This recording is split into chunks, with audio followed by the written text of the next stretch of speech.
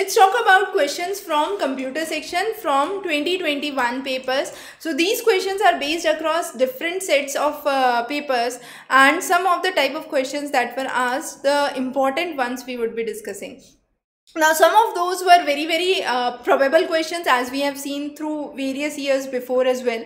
So the first question was what is anti-spyware software? Now here this is a software that detects a spyware as simple as that. So it detects a program which is installed illegally on the computer system. So 2 becomes the right option.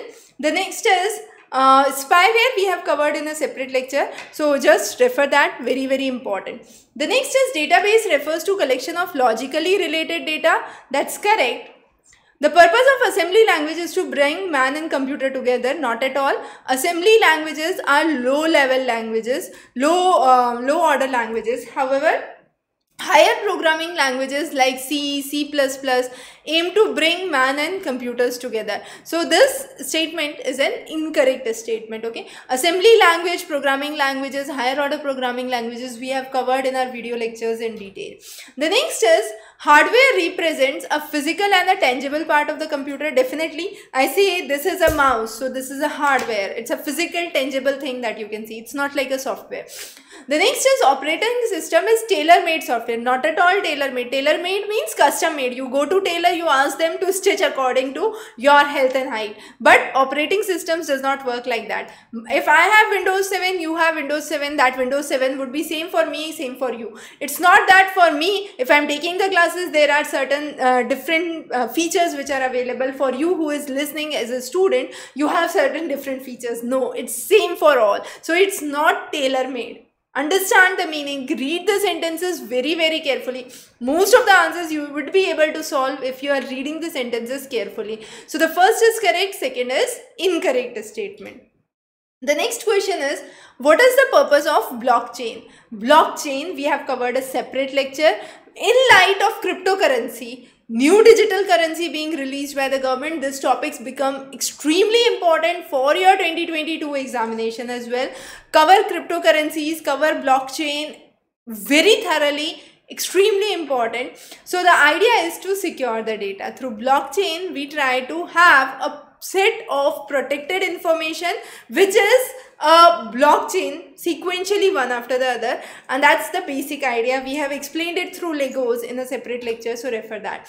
The next is kritika is trying to make a science project representing uh, on fraction using a powerpoint software. She wants to add the phrase presentation on fraction at the bottom of each page. So i would just click footer kritika would just click footer.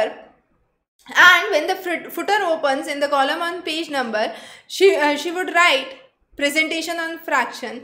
And that's how this would be done. So what option would be used? The option of footer would be used. So footer if put would go on to each of the pages. So this was an applicative kind of questions if you are using the uh, the the technology you would be able to answer. Another question is again an applicative question. If you have ever joined google meet you would be able to answer this question. So in the free version of google meet you can record your sessions or classes. That's uh, that's one of the statements. Now can you record definitely you cannot record. You can record only if you have uh, a business plus uh, or enterprise plus setup. Okay? In a free version there is no capability to record.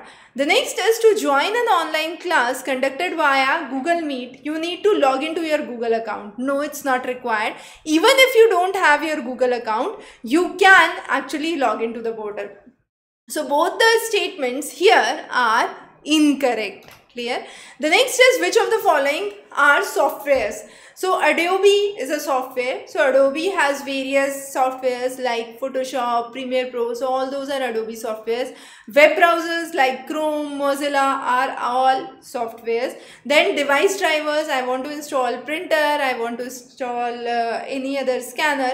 There would be a device driver. So it would be again a software. So a b and d. All of those are software the next question is some of the company and their founders well known well heard microsoft bill gates.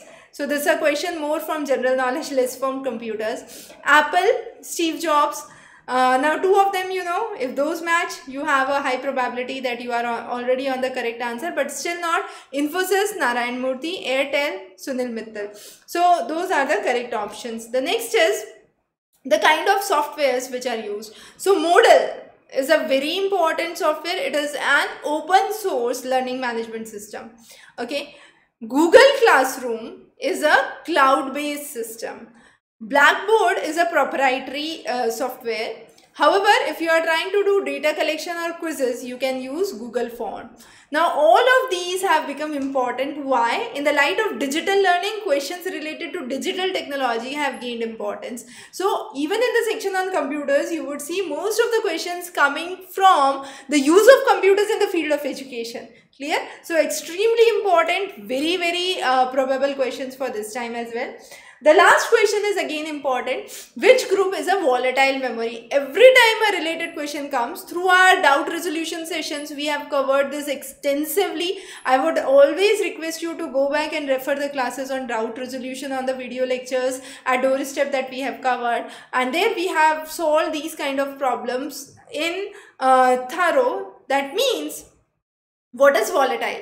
Volatile is even if I switch off the computer memory, uh, then the content would uh, retain while it is powered on. If the power supply is interrupted, the storage would be lost. Now what kind of memory it shows? RAM, random access memory and cache. Both of these would retain till the time the computer system is on. As soon as I uh, switch it off, then the power becomes un unavailable, then the memory would go off. So that's what is RAM and cache. So two cache is the temporary memory. So two of those are the things that we would understand here under the category of volatile memory. So these were some of the questions from computers. As I said, application of computers to education becomes very important. Lots and lots of questions were directly or indirectly related to it. So practice well, solve at least last 5 years papers and the complete video course is available at the link below for paper 1 preparation. Thanks for joining in.